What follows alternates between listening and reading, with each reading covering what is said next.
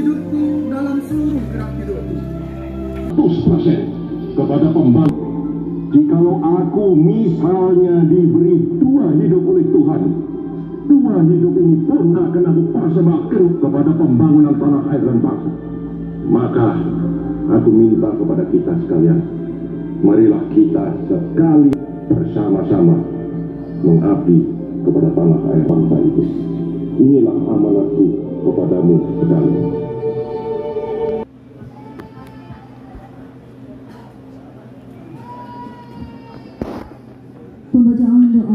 Oleh Ustadz Muhammad Sukar.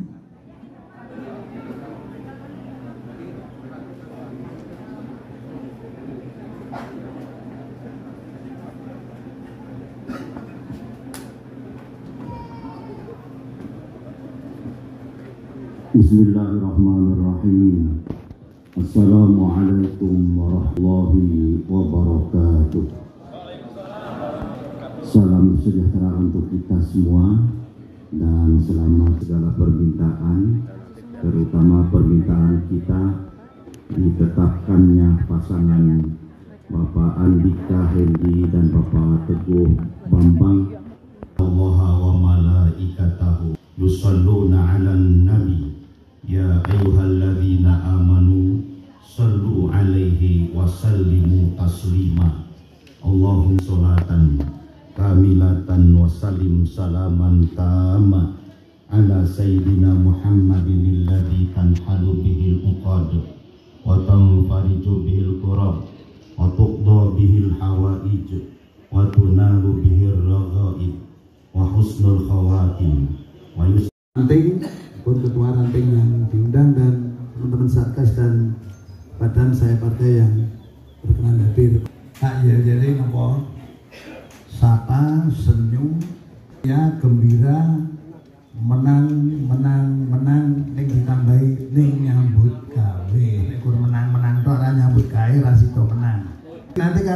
sampaikan teguh Bambang jawabnya sapa senyum teriak gembira menang menang ning nyambut gawe sing penting ning nyambut gawe ning kuwi.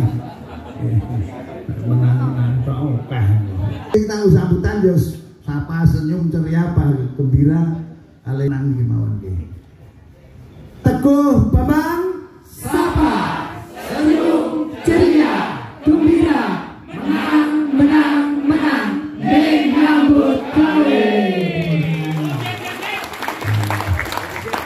Bapak Ibu sekalian yang saya hormati Pertama tentunya tidak berhenti panjatkan puji dan Teguh Bambang untuk kita perjuangkan semaksimal mungkin untuk memenangkan kompetisi kompetisi tahun 2024 dengan senyum, sapa, senyum, ceria, gembira. Itulah nanti yang akan kita uh, dapatkan bersama.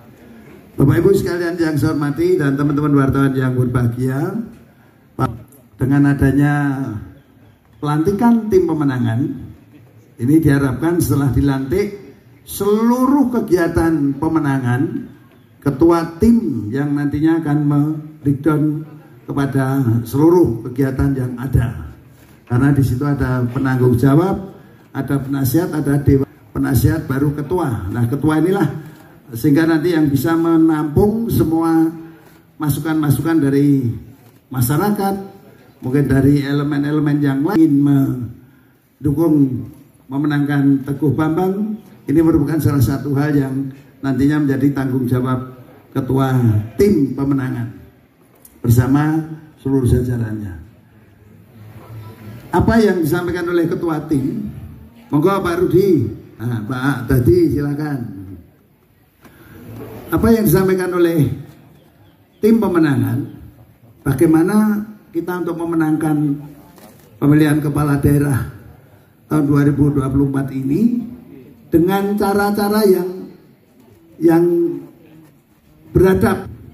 Yang pertama menyapa setiap warga masyarakat yang kita temui. Dan ini tujuan utamanya nanti juga untuk Pak Teguh dan Pak Bambang ketika sudah menjadi wali kota ya menyapa semua masyarakat tanpa terkecuali. Kalau bahasa Jawa yang agak agak praci sana nguwong ke wong. Kalau menyapa ya menyapa dengan pandangan mata yang disapa itu sendiri. Dan senyum, senyum yang ceria. Jadi kemujengi ya sing sumringah. Nek sumringah mesti dadi seneng sing di salaman paling tidak seperti itu. Jadi tidak hanya sekedar menyapa tok. Eh, pangasno. Pripun kabari? Senyumnya ya mung senyum tenan aja mung. Nah, ini jadi malah dan yang diajak yang disapa ini akhirnya merasa gembira oh aku diwongke tenang kan gitu oh nek no tak menangke kan begitu itulah yang tujuan utama yang mesti kami sampaikan untuk itu nah cara-cara bekerjanya adalah bagaimana nanti tim ketua tim pemenangan beserta bidang-bidangnya nantilah yang akan me, me, meramu meramu ataupun mempunyai uh, strategi-strategi yang sudah dibuat oleh uh, Bapak Ketua Tim beserta jajarannya.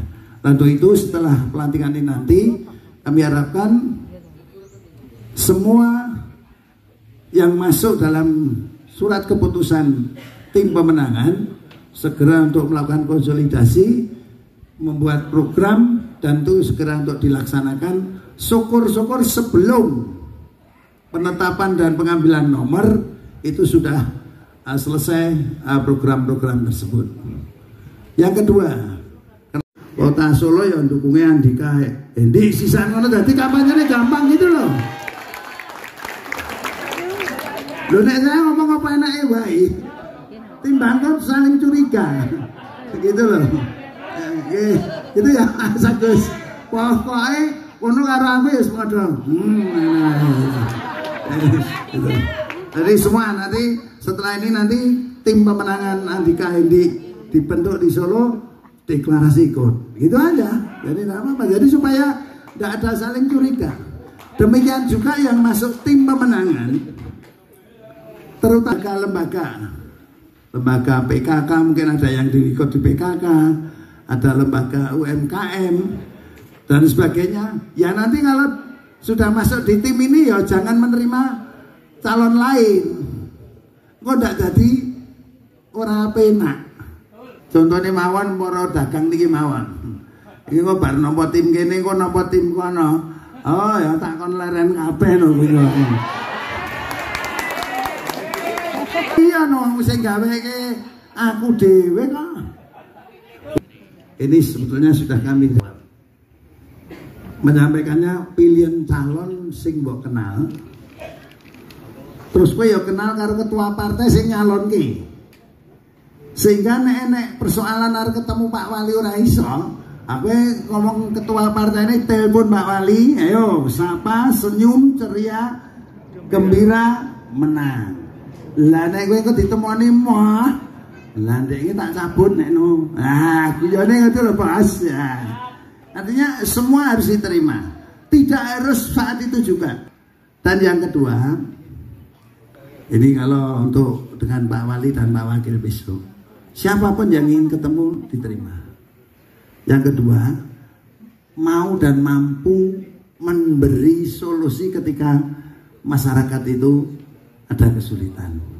Solusi tak ke duit sekok kantongnya dewi kok.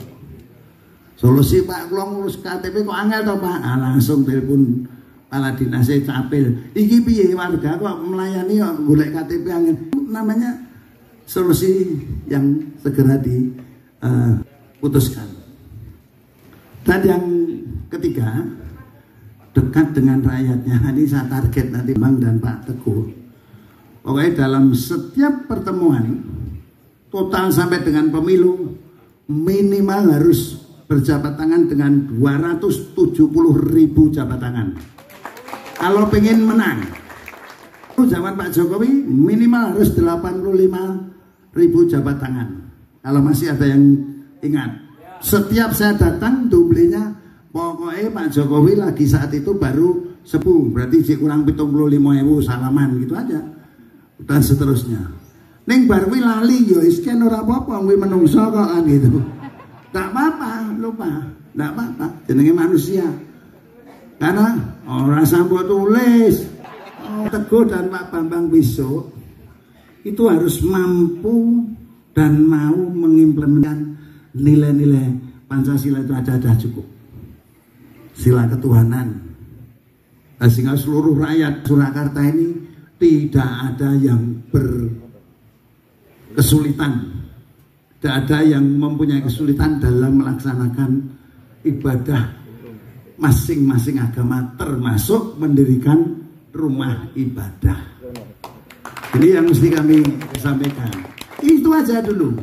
Dan tidak perlu membeda-bedakan siapa apa agamamu ora enek. Arep wong tekok si agamamu apa malah kepancal Gusti Allah engko malah Nah, benda itu. Artinya ini di, yang sederhana saja dilakukan. Yang kedua, kemanusiaan yang adil dan beradab. Sehingga memanusiakan manusia dengan keberadaban sebagai bangsa Indonesia, keberadaban sebagai orang Solo, Uduraja Jawa loh ya, orang Solo, bukan Raja Jawa, orang Solo. Raja Jawa itu punya integritas, etika, punya komitmen yang luar biasa, sopan santun, nanda pasar, lembah mana, mau menghargai sesama tanpa membedakan itu Raja Jawa sing tenang. Raja-rajanan aku ya ngerti kan gitu itu kan seperti itu. Ini saya sampaikan seperti itu. Artinya memanusiakan manusia itu penuh dengan keberadaban, dengan penuh dengan etika, lembah mana ada pasar sopan santun itulah yang namanya mengimplementasikan sila kedua. Kata yang berbudaya, maju, sejahtera, nyaman dan bahagia. Nah, sehingga programnya nanti ditambah Pak, untuk menambah anggaran untuk peningkatan kualitas dan kuantitas seni budaya yang ada di tiap kelurahan itu loh ya, Grebek Sudiro, Barmino dan sebagainya itu, Apem Sewu, kalau jajar apa kemarin jangan lupa, itu nanti ditambahkan dalam uh, bidang seni dan budaya. Saya kira itu saja yang kami sampaikan. Terima kasih atas kehadiran semua dan setelah nanti uh, mengucapkan kata pelantikan bukan berarti kegiatan selesai.